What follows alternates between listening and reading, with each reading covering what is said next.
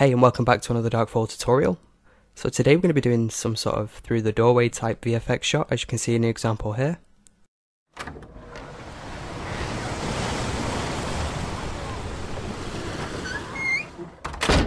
So since we're using the compositor, um, things are going to be pretty much the same as the last one but with a few little differences. So again make sure we're in Cycles Render. You also want to make sure the resolution is the same as the movie clip that you're using. So also make sure this is at 100% as well. So now we can change this from the 3D view to the movie clip editor. And go ahead and load in the movie clip.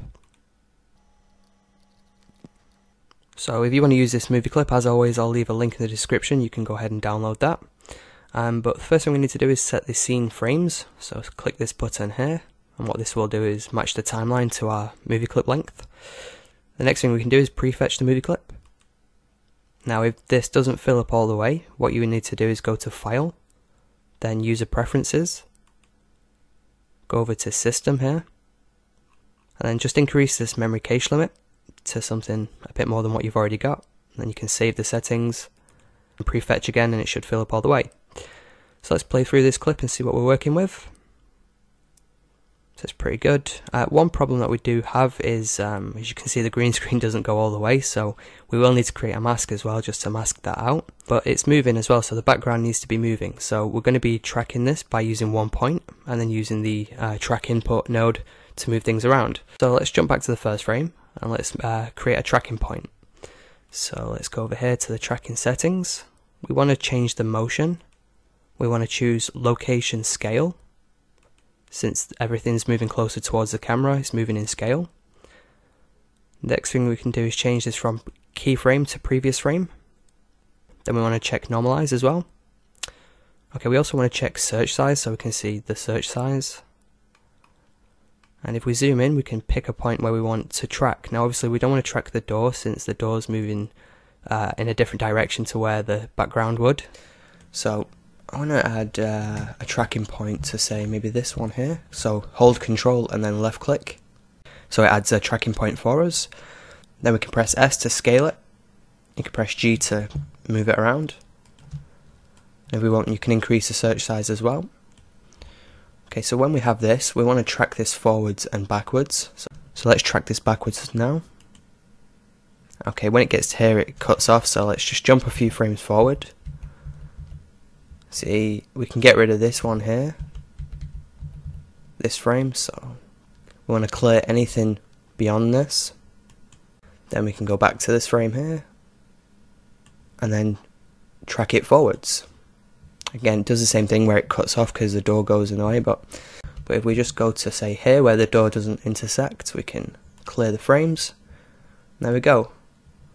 Okay, it's not perfect, we do see some jumping around. So if you're using this technique for your example, then you might need to create a better tracking marker, but that'll work fine for us now. So what we can do while we're here now is create a mask. So we need to change this from the tracking mode to the masking mode. Go ahead and press new. And let's call this garbage or garb1.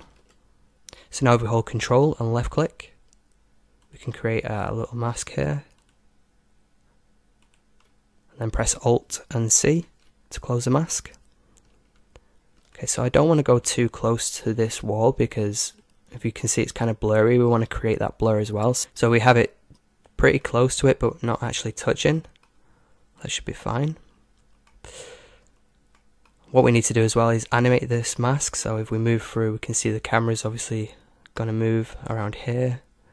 And then when the door closes, we also need to animate it as well. So Let's start from the beginning around before it starts moving.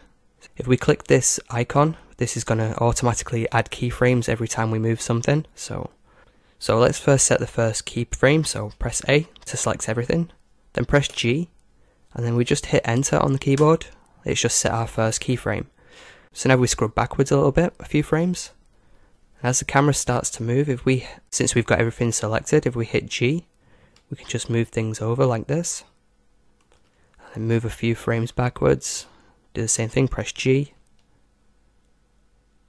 So I'm using the keyboard, the left arrow key to move a few frames backwards, then hitting G again. Moving this over. And then let's do it one more time. Now we move one frame and then press G and just move this out of shot like so. So now we go forwards, we see it's animated so far. And you want to take your time with this, you want to put some more effort into it because you'll see it later on in the results, you know, how good or bad you do this masking. So let's go forward. We need to just do a bit more masking. So now when this door closes, we need to animate these two. So we press A to make sure everything's deselected. And then if we hit B, we, uh, we can box select these. We can select these two here. We just move the frames forward. So when it gets to about here, we can press G and then hit enter. That's just set a keyframe. One frame, press G, move this closer, move one frame, press G, again. Now we can select everything here, just press G and grab this out of the way. Again, you want to make sure this is a lot more, uh, a lot tidier than what I've done here, so we could actually go back and refine this if we need to, if it's not looking too good but we'll also add a blur as well, blur node to make sure this is uh, this blends in nicely. So now we've got this done, we can move on to the uh, the compositor. So let's change this over to the node editor. And as always, we need to check the use scene tab, check use nodes, and backdrop. Now we don't need this render layer. We can delete that. Shift A, go to input, movie clip. Let's connect this up as well and also add a viewer node, shift A, output viewer, and just connect that up. So since we already loaded it up, we can select this icon here, just choose the chroma key. Let's just zoom out as well so we can see what we're doing. Okay, so first thing we can do is get rid of this green screen, which is pretty simple. We've done a, a quick tutorial on this in the past, but I'm going to show you again how we do that. Shift A go to matte, then we want a keying. We just want to drag this and drop this here. Now, before we drop, uh, connect this to the viewer, um, in fact, well, we shouldn't connect it to the viewer first. What we want to do is select this color icon here, select the color picker tool, and then we just want to select that green color there. Now we can connect this up to the viewer node. If we didn't do that, it would just, I'll show you what it does. it kind of does this, gets rid of some nastiness, so don't do that. okay, so now we've got that green. It's not perfect since we've got some artifacts here, so what I like to do is select the green color again, and now just drag this closer to the center, and as you do that you can see it, it goes away. Um, one thing you should notice as well um, is it will affect the background. Obviously, you can you can tell already it's affected the green color, which is not a big deal. I kind of like that it's got rid of the green, but it will affect it by creating some artifacts as well. Um, so if we select the matte output and plug this into the viewer, so this is the mask that is created. As you can see, we want to get this all completely white and make sure this is completely black. So what we can do is go to clip white, just drag this down. So as we do that, the whites get brighter, which is good. I mean, it doesn't happen everywhere because yeah, it's not going to, but that's good for now. Let's connect this back up to the viewer node. It's looking a lot better. Let's just get rid of this problem over here. So Shift A, go to Input, then Mask, just drop this down here. Then we want to choose the mask that we created, which is that garbage one, and plug this into the garbage.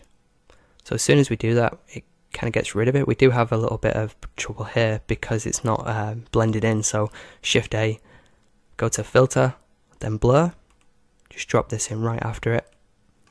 Then we just kind of want to match the blur around it. So again, each scene is going to be different depending on what you're working on. Just kind of play around with these values until you find something that works for you.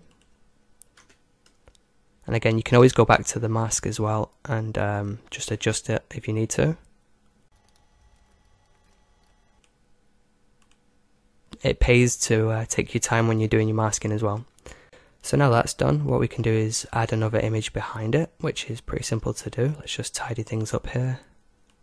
Oh, another thing I should mention is the uh, the core matte, which is this here. We can plug something into it, another mask like we did here, and it would get rid of any artifacts. Okay, so let's now add the background. I'm going to go ahead and add another movie clip, so Shift D and duplicate this. Now let's get rid of this as well. Um, so let's go ahead and combine these. So Shift A, go to color, and we want to use an alpha over. Let's just drop this up here, plug this into the viewer node. In fact, we want this one to be on the bottom as well. Then if we drag this one, plug this into the top. Let's just move this over here.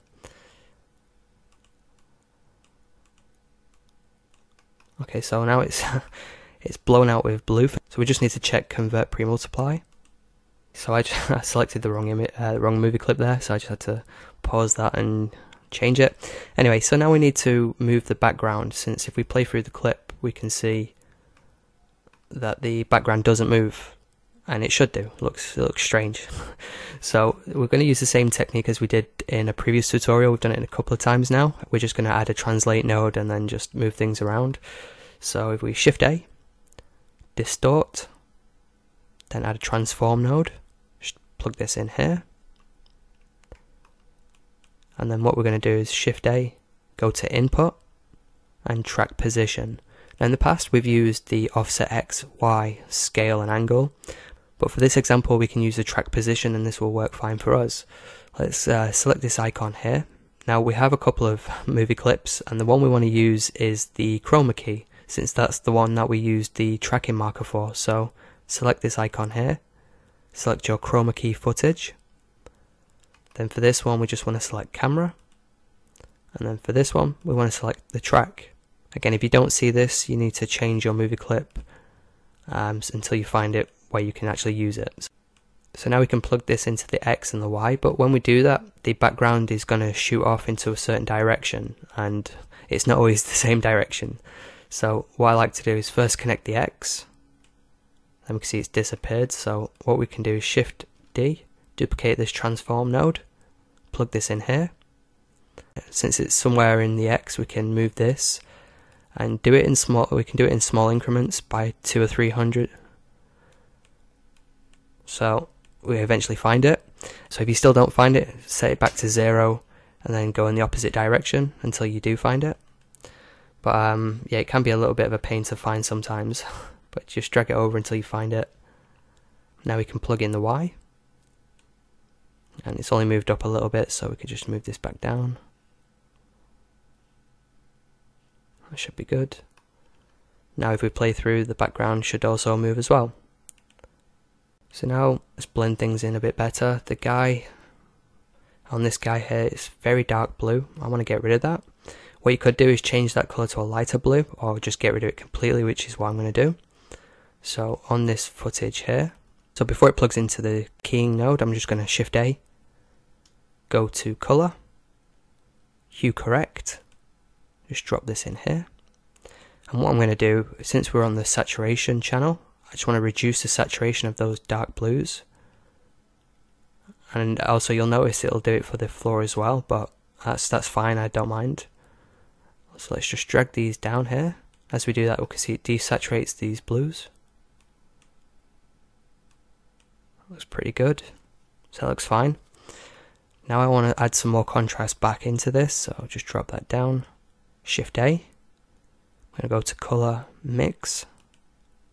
Just drop this in here. And then I want to plug this back in.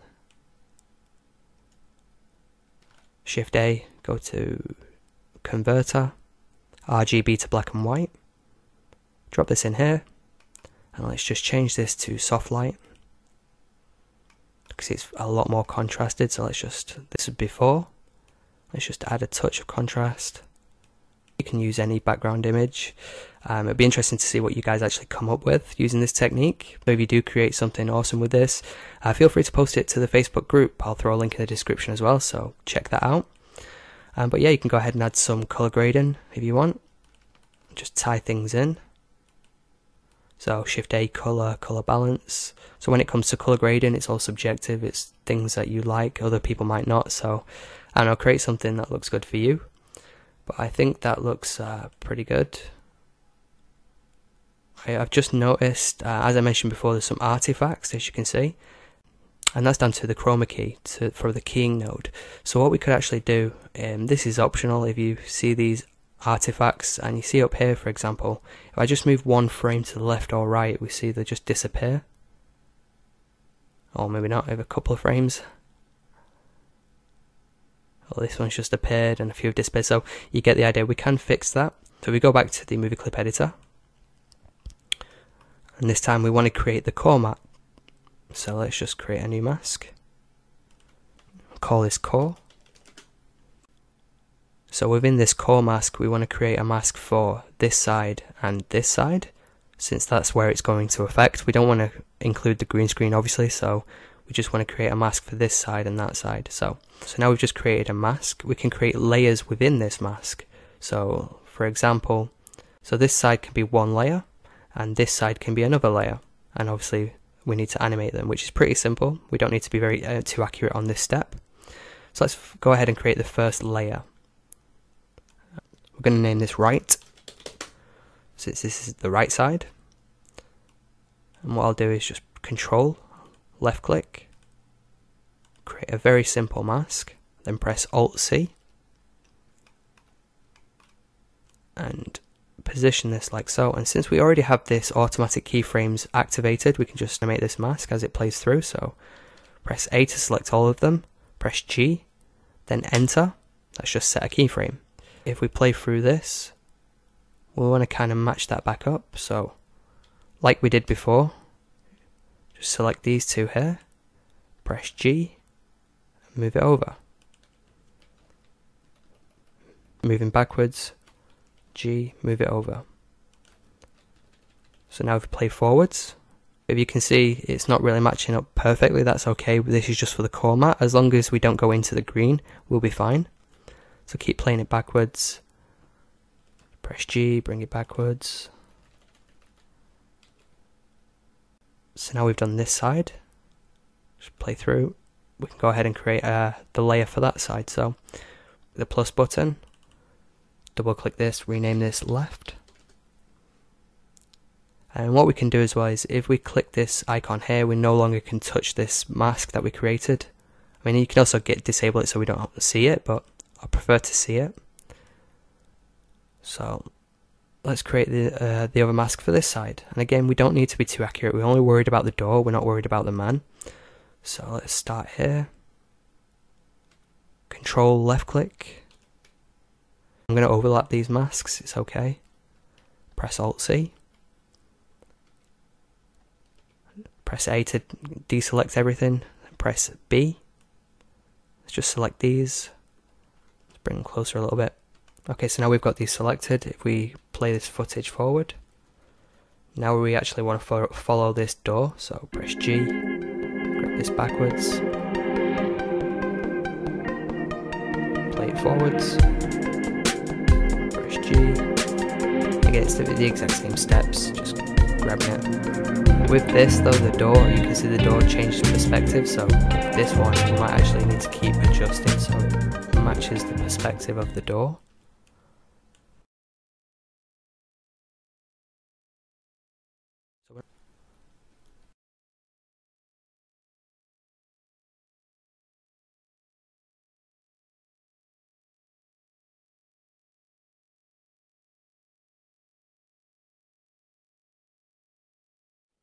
Okay, so when you've got that done, uh, you can go back and refine it since, you know, it doesn't look too great there, but that should be fine. And now we can go back to the node editor. And then all we need to do is we plug this into the keying node when I find it. So it's this one here. Shift A, input mask. Choose the core mask Let's plug this into the core matte. And as we do that, we can see these artifacts go away. And that again, it helps sell it, make it look better. Um, again, the more accurate you are with it, um, the better it will look. But as you can see, towards the edges, it's not too noticeable. When it's around here, it's very noticeable. So again, that's why I wasn't too accurate with this core mask. But with the uh, with the garbage mask, you do need to be accurate. As you can see, there's still more we could have done here to make it look a little bit better. But I think you get the idea. Um, yeah, so once you are happy with everything and you want to render this out, you can go ahead and go down to the output. you want to change this file type from PNG to FFmpeg video if you want to render this as a video. You also want to make sure you set the encoding. What we can do is choose the preset. And I like to use the preset H.264 in MP4 format. That seems to work best for me. Then also make sure you set the output of this. So click this and choose where you want to save this out to. And Then you can go ahead and press animation. So hopefully this tutorial helped. Um, if it did, be sure to give it a like. As I mentioned before, if you want to post a link to our Facebook group with your results, then yeah, it's always great to see what you guys are making. So as always, thanks for watching and see you next time. Thank you.